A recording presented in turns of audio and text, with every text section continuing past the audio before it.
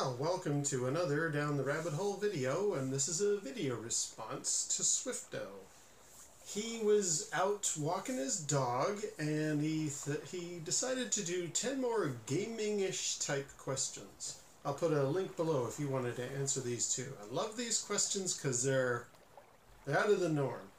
And I just thought, well, since Swifto was out walking his dog, having a nice daily kind of little stroll, I thought, well, I'm going to go outside too and just check out the great outdoors.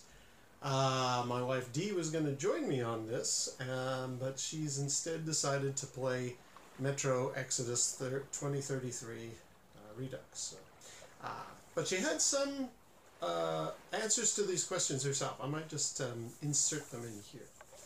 However, with uh, no further ado, let's get to Swifto's questions. Question 1. What game would you like to see get a remake or sequel? This was really hard. Uh, I was really quite surprised because practically every game that I liked from yesteryear has actually had a sequel. I mean, there were tons of games I would have mentioned a couple of years ago, Star Control being one. I mean, there was a there was a sequel to that back in the day. But I would have thought, you know, oh yeah, a modern rendition of Star Control would have been awesome. There is one. Uh, I would have said back in the day Thief, because again, there were sequels to that, but nothing recent years. Then they made it for the PS3 and the PS4, so that also doesn't really count. Um, almost everything I'd like to see get a sequel has actually got one, or a remake. But I did kind of come up with an answer, and it's a little bit of a cheat. Very, very small Um, I wouldn't mind seeing more of, perhaps a sequel or whatever, more VR missions like the one that came in the Star Wars Battlefront first game when PSVR first launched and they made that X Wing experience. Man, that is phenomenal. I don't think it's going to ever happen.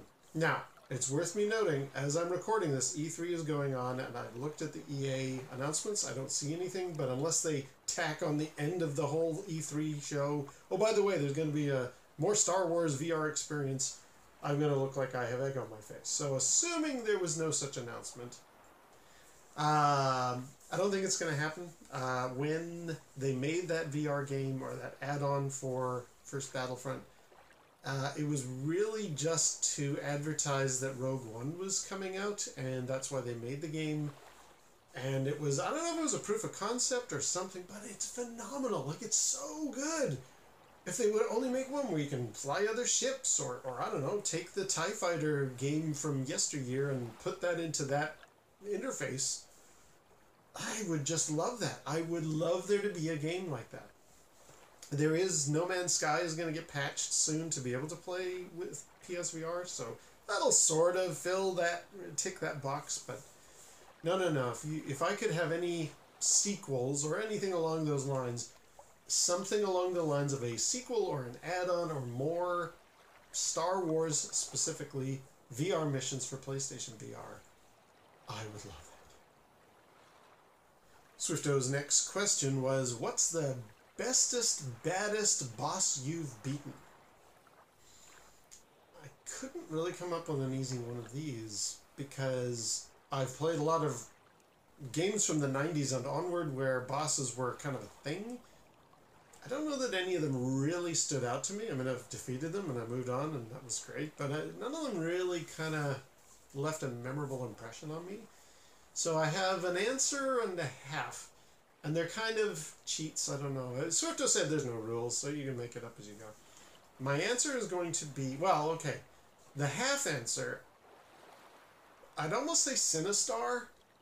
Now, he's not really technically a boss, because you don't meet him at the end of the game. All of the little drones that you're fighting against in the arcade original, where they're collecting the rock bits, they're mining to build Sinistar, and then he comes and he chases after you. I've done a video about it. Sinistar to this day scares the heck out of me. Um, he's kind of a boss, but he sort of predates the boss concept. So, um, and my other answer again predates the boss concept, but I think this one more properly fits, and that is Rhindle, the red dragon from original Adventure on the Atari 2600. I think he qualifies, even though he predates Sinistar. I think I'd have to look that up. Uh, but Rhindle is like, he's kind of that version of a boss. First of all, you have to play the harder game settings in order to encounter him. He is the fastest of the dragons. He's the toughest of the dragons. I I remember defeating him, and I was so thrilled with myself. I thought, wow, I didn't think I'd ever actually successfully complete that. So to me, that's that's a end boss thing. I think that's what Swifto was going for with his question. So for me, the bestest, baddest boss I've beaten is Rhindle from the Atari 2600 adventure game. Question three was the hardest one, and I don't have a concrete answer, much like the boss question. If you had to bring back a person from history and play a game with them to convince them how video games are amazing, who would it be and what game would you play?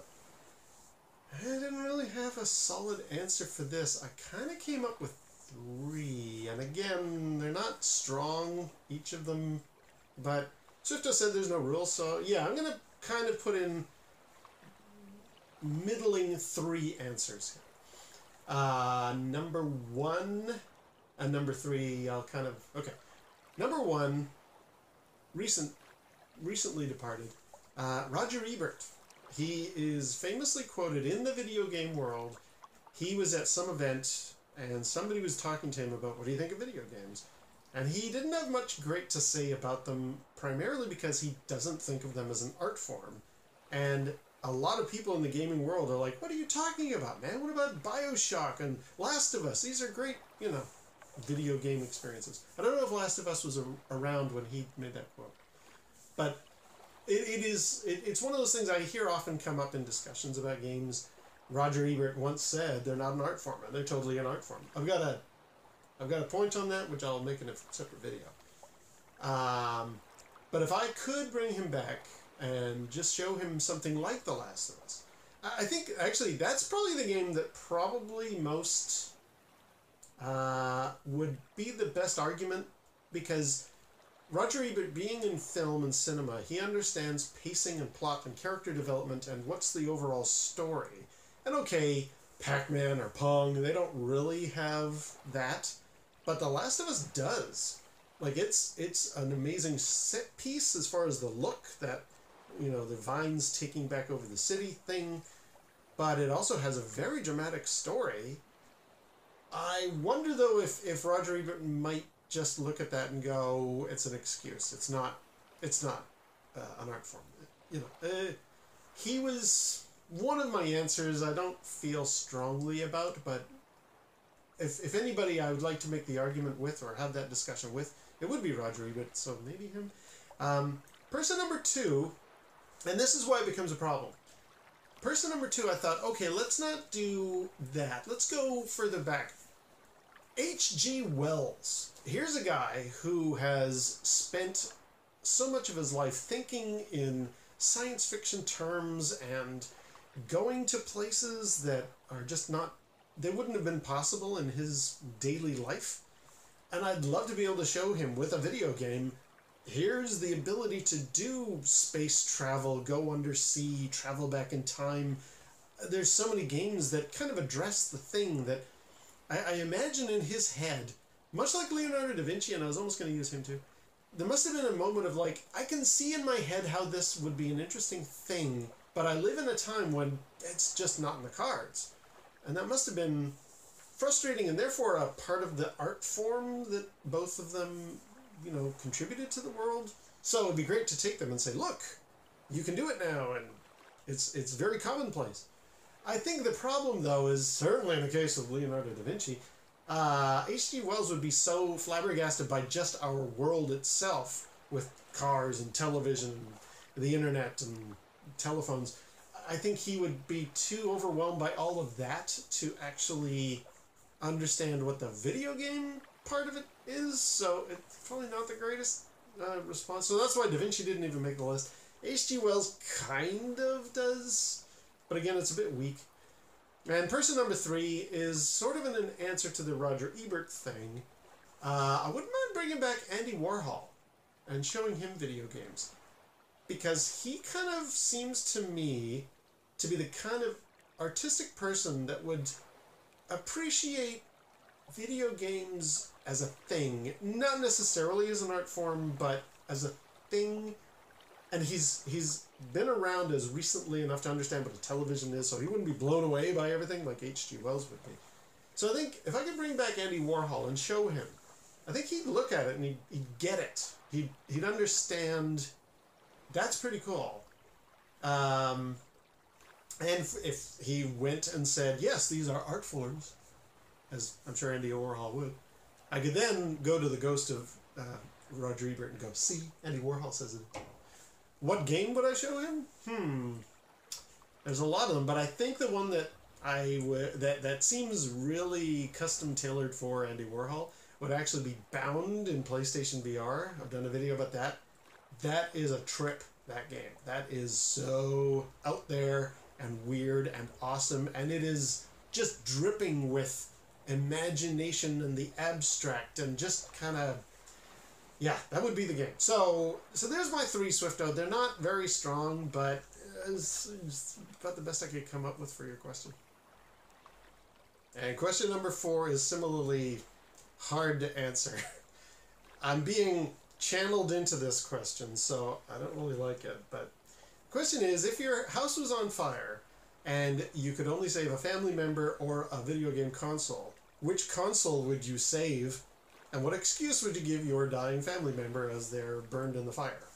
Which, it's so mean to be like narrowed into that as the question or hate it, but uh, okay. I mean, yes, it would be the family member over all the consoles, but since that's not the question, since I have to answer which console would I rescue and what would I tell my family as they're all dying in the flames, why I saved it and not them.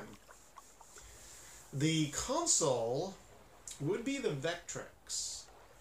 And the reason I would save it, as I apologize to my wife and the cats and everybody else who's dying in, in the fire, my excuse, which doesn't hold up water, but the reason I would save the Vectrex is those uh, vector monitors are rare. Like, there is a few attempts out there to kind of reproduce or come up with an alternative or a way to, for Vectrex games to live on, but at the time that I'm recording this, there aren't anything really solid. So the Vectrex is, especially with that monitor, it's a one of a kind from the 80s, and you know what? Those machines are dying. So every one of them that still operates well, cherish that thing. I do with mine because it ain't gonna last forever, and when it's gone, it's gone. So, as I'm running away with my Vectrex under my arm from all the fire, and saying why I saved it and nobody else, it's because the Vector monitor is rare, you guys.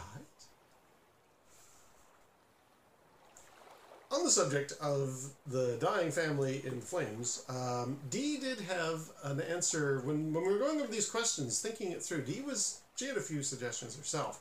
I'm just gonna she didn't really have a console she would save. I think she did actually. I think it was the PS4 because she loves it more than me. Uh, and as far as the because I let her die in the fires, um, the the previous question about who would she bring back uh, from history to show video games, uh, she had mentioned Gene Roddenberry, which yeah, I that was a good call. I think uh, I think Gene Roddenberry would really appreciate because again he's recent enough he would understand and when he died, uh, even the PS3 wasn't around yet. So I think he'd be very impressed at what is possible today, especially if you stuck his head into a VR headset and played Star Trek Bridge Crew. He would be like, "Wow, I'm back! It's it's I'm back on those sets." So thumbs up to Dee for uh, coming up with that as her answer, and for saving the PS4 and not me, because I deserve to die because I wanted the Vectrex to survive and not her. Question number five is very long, so I have to read it out here. You get a phone call from Zeus, the mightiest of all gods. He demands that he play you at a game of your choosing. Should you fail to beat him, he will strike you down with a thunderbolt. But should you win, then you he would give you godlike powers. What game do you choose? Now, I really like the answer that uh, both Swifto and Wee Bob have given. I'm going to put a link to Wee Bob's video down below as well because quite like his response and his what machine would he save in the fire. So he they have been both more witty than I have on this answer. I'm gonna stick with what game am I really good at, and and even this is not a game I'm fantastic at. I think it's it was the only one I could come up with though. That's Street Fighter. Um, I'm guessing Street Fighter Two on the arcade. No, Super NES. Let's stick with that one. Um, yeah, I, I'm. It would have to be something against somebody, like a one-on-one scenario. I was gonna do Pong, but I think Zeus would probably have no problem with Pong. I guess. Uh, and then I was thinking, well, what multiplayer game are you really good at? That's Star Wars Battlefront, but that's a whole army of people. You're not really one-on-one in that scenario. So let's stick with a fighting game, and we'll we'll stick with Street Fighter. Why? Um, I'm decent at it. I'm not by no means on my like professional level or any good. Anybody who's watched my my videos about Street Fighter have realized, yeah, you don't know what the heck you're doing. There. But I've been at parties and stuff where people are, hey, Mister Mister Street Fighter player, let's have a game, and I have won against them, so at least I can hold my own. So against Zeus, it would be like, yeah, you don't stand a chance, pal. So that would be why I choose that game, and I would defeat him, and I would attain godlike powers. Also, as a side note, a little bit funny, I hope. Uh, I'm a Chun Li fan. I'm a Chun Li player. I main Chun Li in Street Fighter, and uh, it would be kind of funny and ironic and cute for Zeus to get beaten up by a woman. So I just thought there'd be a kind of a poetic justice there. So that's why I would choose Street Fighter 2. We'll go with the Super NES one because it looked like controller. Um, and yeah, we'll watch Chun Li beat the crap out of Zeus. Number six is a good one. What question would you hesitate to answer? I got a few of these, and so does Dee. Um, I think I'll go with mine first. Now, probably the easiest or, or the least controversial answer, and this will be the one that I stick with, uh, is probably. You ever been to a, somebody's house and you got a bit of time? Not quite a party situation, but like, you know, you got some some time to spare or whatever, and they're like, "Hey, uh, what kind of music do you listen to? What's your favorite music?" I don't really have an answer to that. I mean, I used to like sort of generic pop music from when I was a kid in the 80s, you know, Billy Idol, yeah, but I don't really have a type of music that I like. And honestly, there's good and bad in everything, and I just like music that's good. But I always feel dumb saying that because it's like, well, that's a cop out. I mean, give us give us an. What you want? Want to hear country western? To be honest, there's some country western that's actually very good. I'm not a fan of it myself, but I have listened to some stuff. I paid for a song in Rock Band that was country western. I have a couple of country western CDs. Like, I I reluctantly agree. The genre isn't mine, but there are some good songs out there for country western. So yeah, uh, um, I think I would probably go with like industrial rock or something like that sort of prodigy level stuff. I talked about that when I mentioned Wipeout uh, VR. I like Prodigy, but they're kind of older school now. Like I, I, I don't know. So again, when somebody says, "What kind of music do you listen to?" or "What kind of what, what's your favorite music?" I'm like, "Oh, as long as it's good." But that's I hesitate to answer that because I don't really like that one. Um, for Dee, I hope she doesn't mind me saying, uh, it's uh, the question we will sometimes get occasionally is, uh, "Why don't you have kids?" That's not an easy one to answer. Um, it's just a decision we've made, and we're more than happy with it. And it's not something a lot of people like to hear. Um, I don't know. That one's that one's a dicey one, but that's her answer. So yeah, it's a. These are questions that I hesitate to answer. Question number seven is which song best suits you? And there's a few of these, but my answer is Comfortably Numb by Pink Floyd.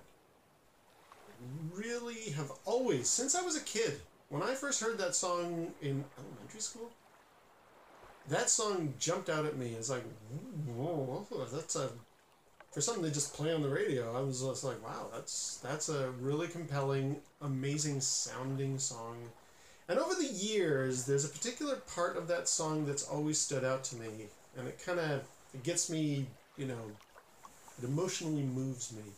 Um, the line is When I was a child, I caught a fleeting glimpse out of the corner of my eye. I turned to look, but it was gone.